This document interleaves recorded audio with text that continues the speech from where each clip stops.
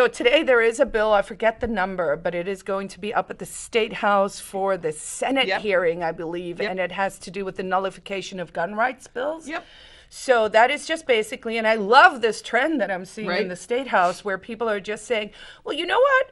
We're, we're supposed to be a federation, Yep. like, you know, we're spa- states' rights first, and then, you know, the federal government's supposed to be constrained and limited, and they're only supposed to be do this little handful of things, which Yep. of course they don't.